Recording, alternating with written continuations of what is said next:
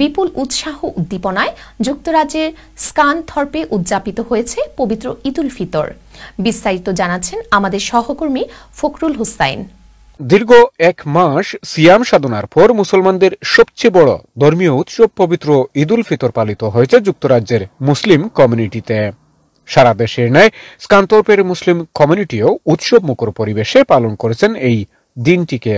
স্বাস্থ্যবিধি মেনে শহরের সবকটি মসজিদেই ছিল দুই থেকে তিনটি জামাতের ব্যবস্থা গতবারের মতো এবারও করোনার কারণে এখানকার মুসলমানেরা খোলা মাঠে নামাজ আদায় থেকে বঞ্চিত হন Mubarak Eid. Unfortunately, under the COVID situation, but with these COVID days coming to an end, we'd like to wish everybody a very Mubarak Eid and a joyous future. UK, Eid Mubarak, have a wonderful Eid. Obviously, it's a very difficult time with social distancing and the COVID, but inshallah, Allah will make it all easy for us. আর কোনো মানুষ যেন এই corona ভাইরাসে আক্রান্ত না হয়। আল্লাহ রব্বুল আলমিন যেন মানুষকে এবং এই পৃথিবীকে করোনা মুক্ত করে। সবাইকে ঈদ মুবারক।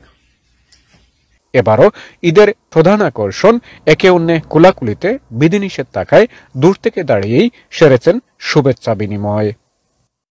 Behalf of the Mosque community on this auspicious uh, day of Eid al-Fitr, like to welcome everybody and a very good, happy Eid Mubarak.